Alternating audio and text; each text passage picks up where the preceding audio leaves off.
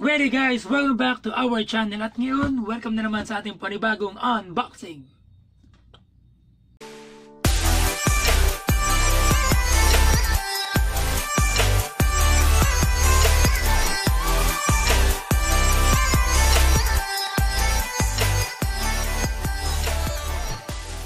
So today, ito na yata yung pinakamalaking unboxing na gagawin natin. Kaya kailanganin natin syempre ng ating cutter. Okay, so tingnan natin kung magkakasya rito guys sa ating table. Ito siya guys, malaki. So ang tawag sa kanya ay capsule. So hindi to yung capsule na ah tawag dito. Hindi to yung capsule na laki kasi. laki. So, hindi to yung capsule na, na pag narinig mo yung capsule, parang, uh, naalala natin yung mga 90s yan. Naalala natin sila, sila Trunk, sila Bulma.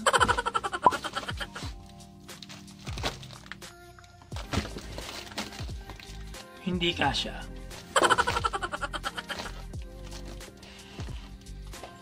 Oh, wala to boss ang gamit. yes, mapagkasya lang natin to guys. Ah, ito na. Pinakamalaking box talaga na na-encounter natin ngayon dito sa Tune Vlog. Buksan na natin.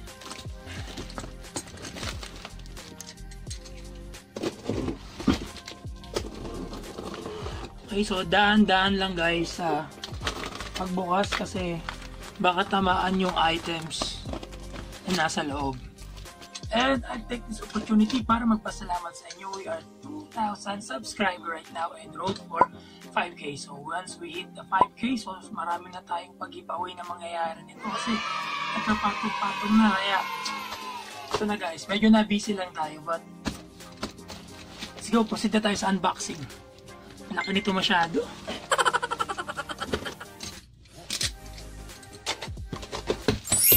Ayun, welcome to the future. Guys. Ito na.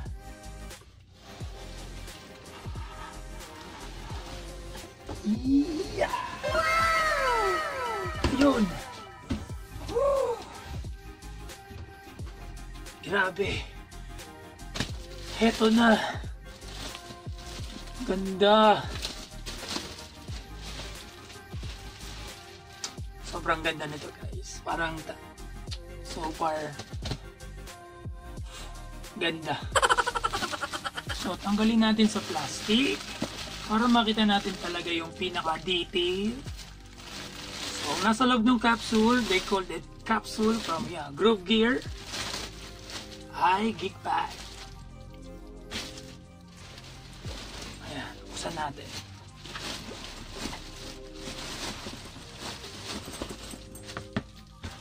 Wow!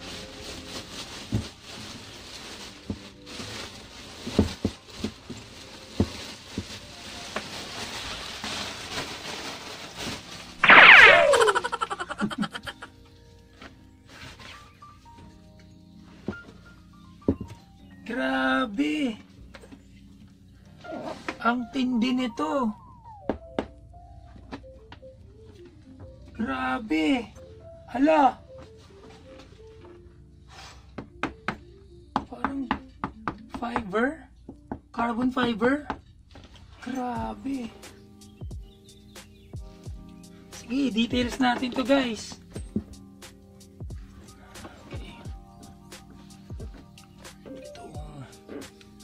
So, ewan ko kung nakikita nyo guys, but ayusin natin yung ating camera angle. Guys, new camera angle. And para makita nyo yung nangyayari dito sa sa ating unboxing. Kaya para full detail siya guys. Grabe solid. Ayan yung logo ng Groove Gear. Check muna natin guys yung kanyang external. So, hindi na siya daw tayo kita sa camera. And, sobrang laki ng items. Ito yung kanyang back support. Sa back support, guys, as you can see, padded siya. And meron siyang mga air to airspace na kung saan para hindi mainit sa likod at pwede mo rin siyang hawakan dito may hawakan dito guys ayan o galing ito sa kanyang strap uh, removable siya guys ayan o nare-remove siya guys yun o nare-remove siya pwede siyang alisin. So, you can remove the strap. Sobrang easy niya i-remove. Black hardwares. Click mo lang ulit dito. Ayan, may clip siya. Ito, nakiclip siya guys. Or hook. Then dito, hook mo lang din. Papasok mo lang. Ayan na.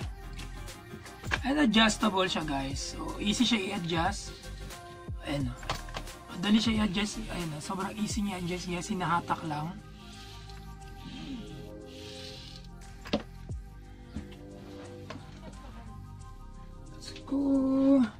And then, ayan na guys. Kung mapapansin niyo itong mga shine part na to, ito yung kanyang uh, carbon fiber. Ayan solid. Ayan, carbon fiber. Welcome, ayan, welcome to the future. At meron siyang lock dito. May code siya guys. So, para ba to i-unlock?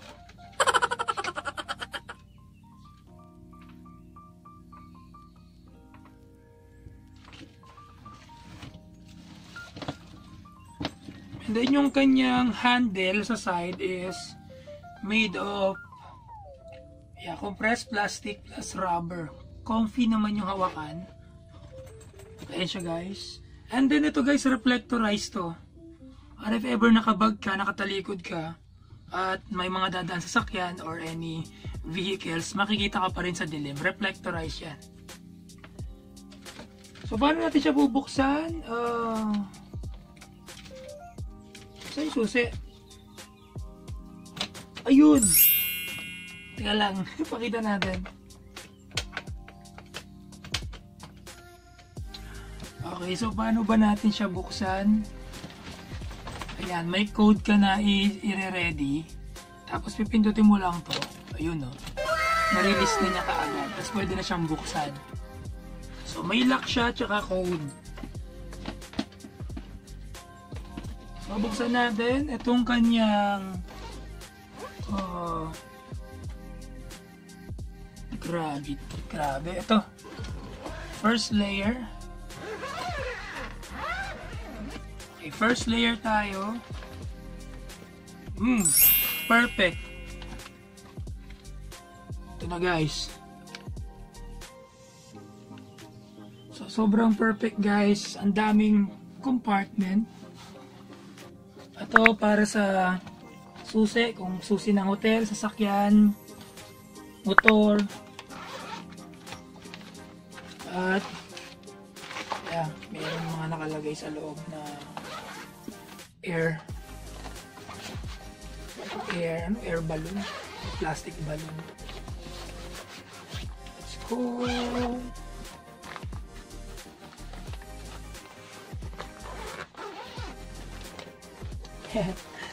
Ang cute nito eh, no?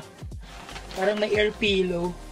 Parang di mapipi. So, ito yung kanyang first layer. Or first lay up.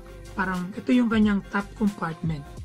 So, from the top, so, inangat mo na gano'n. Ito yung first layer. And then, meron pa tayong second layer, which is yun yung nakalock. Okay. Kaya, Check naman natin. Yun na. Kung saan, dito naman yung next compartment natin is...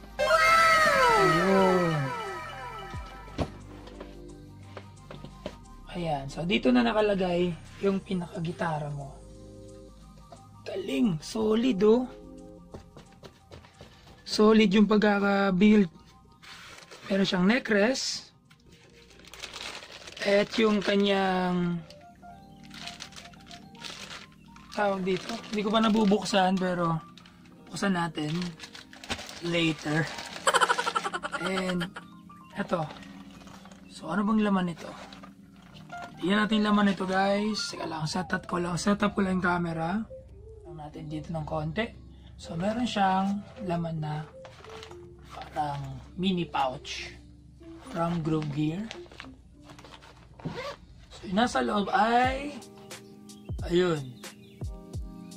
Yan, sino nag-skateboard dyan?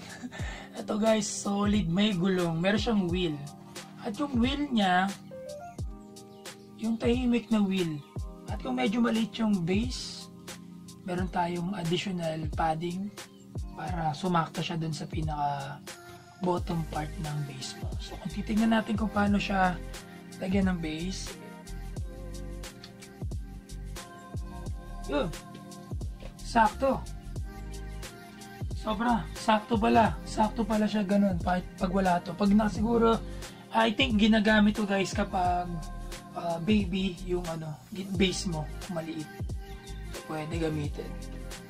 So, ayan siya guys. Pakita natin.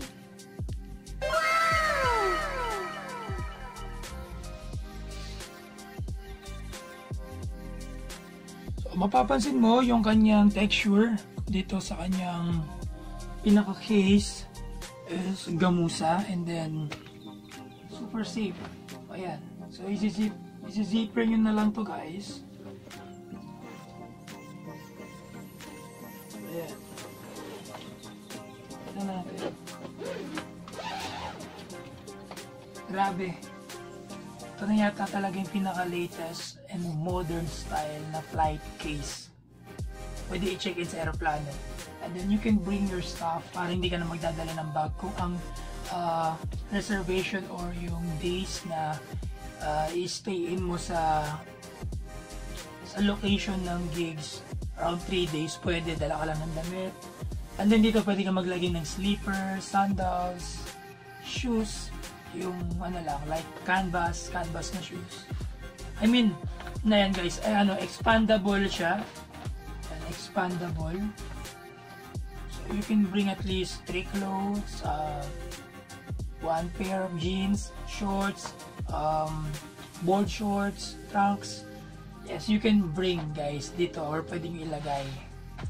Good compartment na siya guys. Ayan. Sobrang ganda. Grabe si Groove Gear. Ayan siya guys.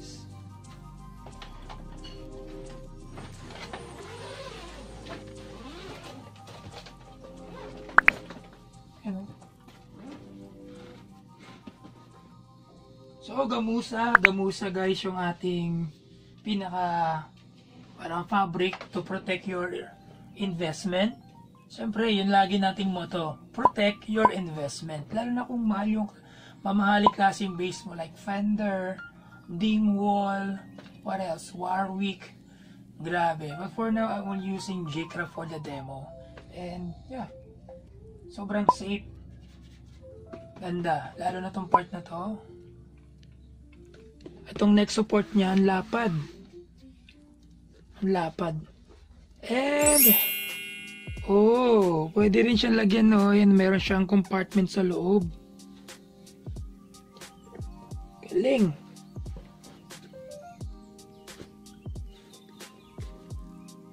Grabe.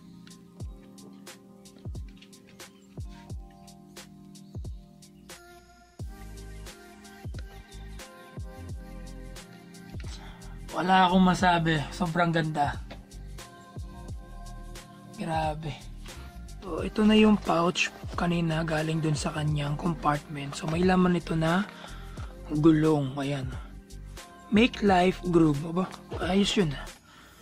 And then, ito yung kanyang pool. Ayan, pool lang daw to. So, parang grenade lang, no? Fire in the hole! so, ayan siya guys. And, Ito guys, dito nyo ilalagay yung... Ayan, ayan. Sundan natin tong part na to. Ayun, sakto. So, pag mabanting ganon, hatak. Yun. So, dalawa to guys. So, lagay nyo lang dito rin sa kabila. Pull. Yun. So, pwede nyo na siyang hatakin pag mabigat masyado yung mga dala nyo. Diba? Ang cool. And then, easy lang di siya tanggalin after nyo siya gamitin. Yun o, hahatakin nyo lang ulit yung pinakalock. Ayan na siya guys. And then, balik natin sa groove gear pouch. Sarili siyang pouch. So, pwede na natin siyang ilagay sa loob ng ating gig bag. So, sobrang solid nito guys. Made of plastic carbon, may lock. Grabe, solid. Ito yung pinaka-paborito kong gig bag ngayon na meron tayo rito sa Tune Love and yeah, hopefully soon marami pang lumabas na ganitong models. I think available available din siya guys sa guitar.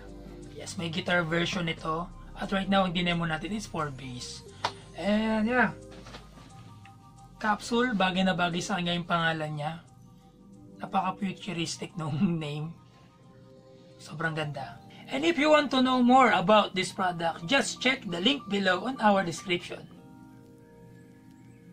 And that will be our video for today. So kung bago ka guys, bago ka sa ating channel, please don't forget to subscribe here and click the notification bell para ma-notify kayo. Click nyo yung all to notify you guys na meron tayong mga bagong videos for how to fix, unboxing, and mga tutorial.